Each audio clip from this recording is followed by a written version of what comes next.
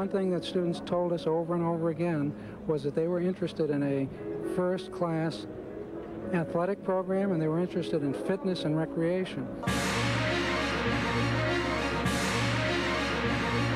We looked at a number of different facilities. We tried to pick out the pieces of those facilities that we felt were the best, incorporate them into this plan.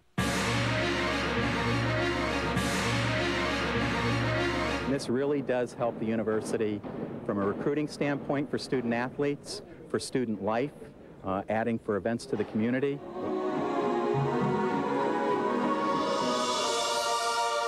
I have been to a lot of universities, but I haven't seen any universities uh, complex, sports complex, that could replicate what we have here on the campus of uh, Boston University. It's just a special place.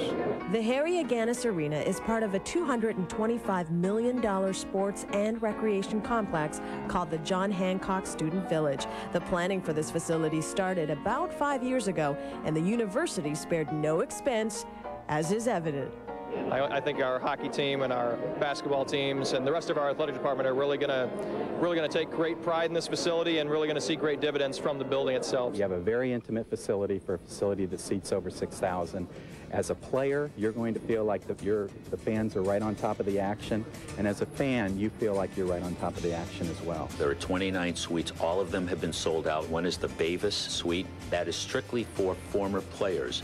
So whether you were Travis Roy and you played 11 seconds or you're Michael Eruzione and captain the 1980 Olympic team, that box is for you. The other one, which I think is very unique, uh, is the Snapple Student Suite. It'll be for a student who has distinguished himself or herself in some part of the university community. As you can see with the, uh, we have the four-sided video scoreboard. We have the ribbon board that runs halfway around the building. So we've tried to anticipate some of the things that people are going to want to see in the future. Well, this is more than just a locker room. It's a locker area. We never even had a lounge to sit sit in and have a you know cup of coffee, sit on a couch. We never had that at all at Walter Brown. Uh, these guys have flat screen TVs, they have hot tubs, they have the whole works. When the architect sat down to design the area for the press, he sat down and asked me, what would I like?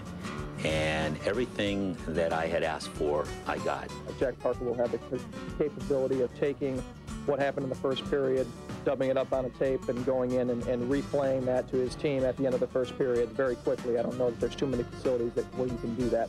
Well, they asked all, all alums, and I, I'm an alum, obviously, if you want to give a gift, a naming gift, and I gave, I named the referees room so that uh, when they walk in the room, they got to realize that it's dedicated to me for, for their use, so I hope they treat me well. Today, I consider myself the luckiest man on the face of the earth. On January 3rd, Agganis Arena opened its doors to the public, and as expected, everyone was impressed.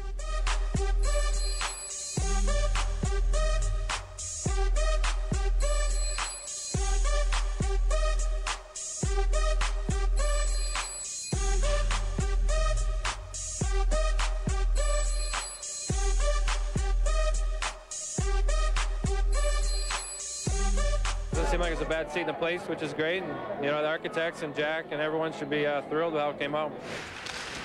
Score! This building really pays tribute to everything that this program has been about. But BU will win the opener at Agganis Arena.